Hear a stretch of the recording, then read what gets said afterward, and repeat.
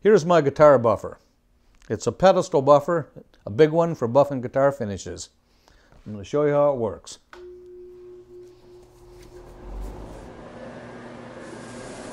Right now I have three buffs on each end to get a wide surface that's great for the back, top, and sides. The left wheel has a medium compound and the right has fine. That's all I need because before I buff I sand to at least 800 grit and sometimes as fine as 1200. Now I'm switching to the fine wheel. That's the one on the right. I can't tell you when to switch from one wheel to the other. Your eye will tell you. You just can't get that kind of a gloss or wet factory look without a buffer. Your first impulse when you buff is to wipe that dust off and look at the beauty, but don't do that. Wait 15, 20 minutes till the finish cools down. If you do this when it's warm, it'll scratch. This is three buffs, but I changed to one or two buffs for tight spots like cutaways, neck heels, and the waist. And once a set of buffs is broken in, always clamp them together when you remove them so you keep them true. Otherwise, you'll have to break them in all over again. I'm going with one buff this time. You see it's clamped together and you're going to need a big wrench that opens to 1 and 5 eighths of an inch because of the size of that shaft and the nut. I'm not using the medium compound for this one, only the fine. I don't get as much lacquer in the tight areas and I give them extra attention when I'm sanding, so the fine compound's really all I need. A lot of times I'll use a wheel to remove dirt from a guitar or from this guitar neck.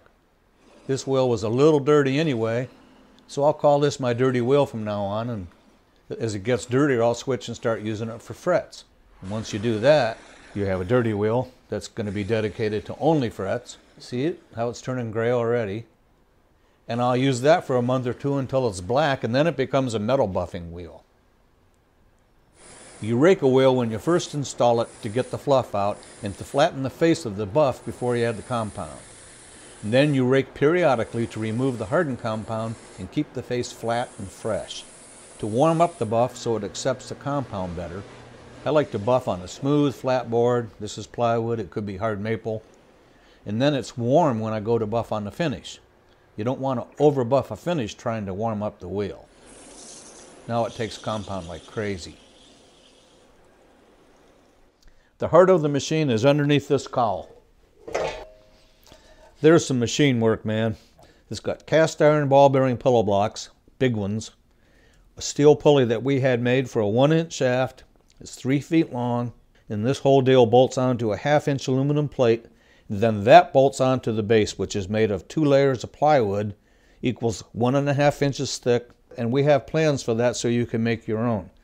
My base is a little bit longer than the plans because I went all the way back to the wall, came across with a 2x4 and lag bolted into the studs in the wall with 4 inch lag bolts. So it's super solid. Watch that run. That's a big buffer.